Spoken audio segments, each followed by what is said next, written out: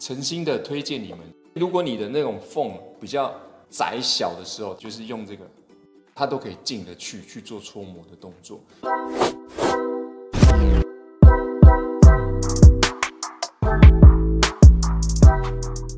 大家好，我是光虫团队的 Sean。前几天呢，我在国外的网站上面看到有设计师分享了一些他在创作上的小技巧，那我觉得还不错。只是说我自己有增加了一些更多不同的使用想法，所以呢，我今天录这段影片，主要是分享这个技巧之外呢，顺便增加了一些我觉得可以让它更好用、更实用的方式呢，给你们可以去参考。好，这个方法呢，运用在什么状态下？你们看到我现在这边有挂一些视频，它大部分都是这种呃镂空键，就是中间挖镂空的。那很多时候这种镂空键会有个问题，就是。它的角落就是那种夹夹角的地方呢，你很难去用搓刀去对它做搓磨修行，因为它可能锯的时候是有点锯齿状，你很难去搓磨它。那这时候怎么办？就可以用我们今天要分享的技巧，就是用我们的这个砂纸以及砂纸布去做出适合研磨小角落的这种工具，让你可以磨得更顺、更漂亮。好，接下来我们就要分享我们看到的这个小技巧的部分。那如果说你的物件是像我们现在展示的这样子，就是一个作品，但是你有做很多不规则的设计，但是当你锯切完毕之后呢，它一定会留下有点像齿痕的感觉，就是锯工的留下的痕迹。但是你用搓刀，可能细的搓刀还可以，但是呢，如果你的细搓刀也不行进去搓磨的时候怎么办？这时候呢，我们的小技巧就派上用场。那我们用到的是我们这个砂纸布，或者是你手边的这个砂纸，哦，两百二、四百、一千、两千都可以用。我们就是用它搭配我们的这个锯工去做一个使用。怎么用呢？很简单，来，我们先拿哦这个叫做布胶，布胶的东西，然后呢，把你的砂纸的背面，砂纸的背面贴上一条布胶，再来。切割它，切割的宽度呢，就按照你自己的这个孔径。比如说我那个待会要磨的地方很细，那我就切小，宽度小一点点。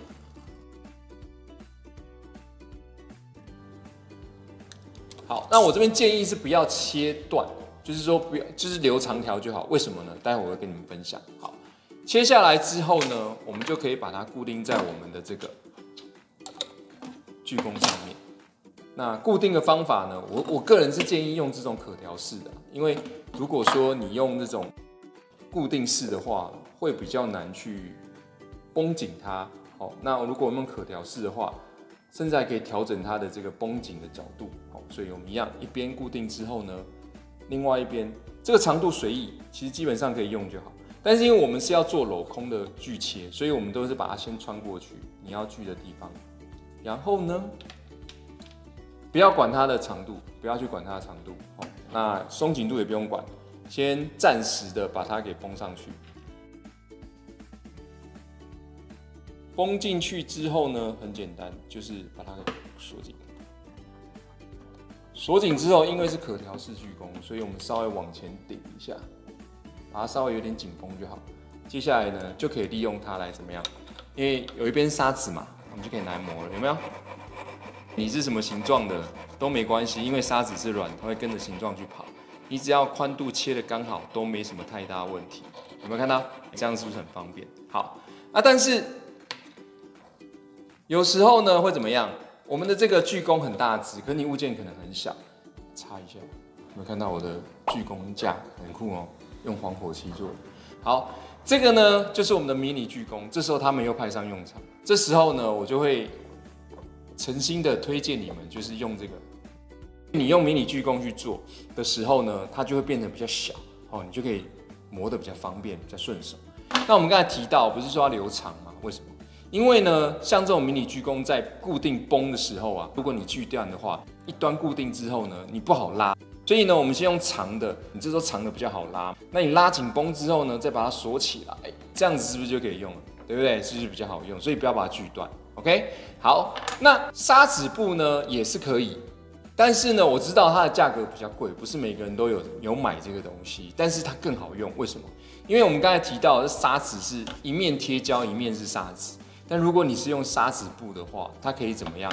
两面都可以磨，对不对？你可以左右两面磨，而且它会比较薄，所以如果你的那种缝比较窄小的时候，它都可以进得去去做搓磨的动作。那它也有分两百、四百、一千、两千，你也可以按按照这样的方式去把它磨起来。那以上就是我们今天想要推荐给大家的一个磨这种镂空作品的这种细缝的一个小技巧。好看完上述的示范影片呢，我相信哦，如果以后再遇到这种镂空件，你去锯切有这种锯齿状，戳刀进不去的时候，就可以简单的利用我们的锯工搭配砂纸砂纸布去做一个呃搓磨的动作。OK，好，影片到这边结束，感谢你们的观赏。如果觉得今天影片的内容还不错，给我们个赞，甚至呢分享给你身边有在做精工的朋友们，让他们也可以知道这样的一个资讯。谢谢你们的观赏，谢谢。